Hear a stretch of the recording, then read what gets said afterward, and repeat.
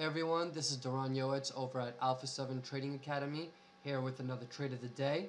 So I'm looking at AMBA found by a member in the chat room, looking for an entry at 48.49s, and then we're going to put out targets at 10 cent increments here because you could see that the upper BB of the 5 minute is at 40, uh, 48.70s, 48.71. So we're going to take out at 60s, then we're going to take out at 70s, 80s, and then we're going to see if we could let any the rest run.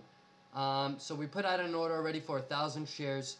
I also have CVX short. You could see that uh, AMBA is is relatively strong compared to the overall market because the SPY at this point was going down, and you could see that with CVX also pushing lower with my short.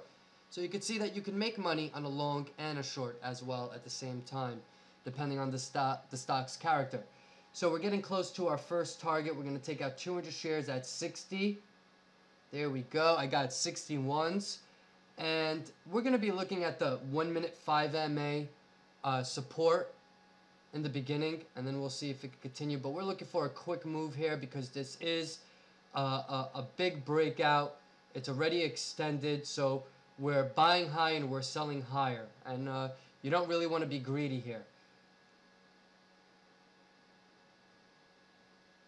Now mind you, this is sped up here to make the video short. This took about 8 minutes in reality. And we can see here that AMBA is holding up.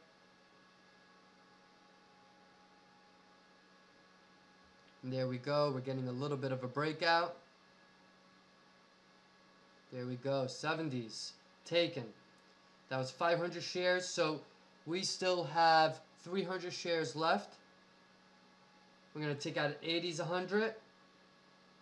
We're going to take out 85s 100, or 80s again. 81s, actually.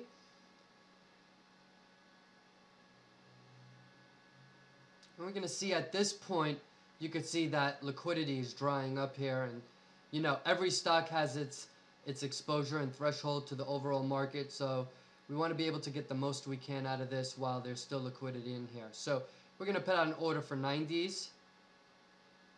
And there we go. We get 90s. So we're going to sell the rest here. And we're going to end up with $220 on a 1,000 shares for 8 minutes. I hope you guys enjoyed and stay tuned for another trade of the day. Have a great day.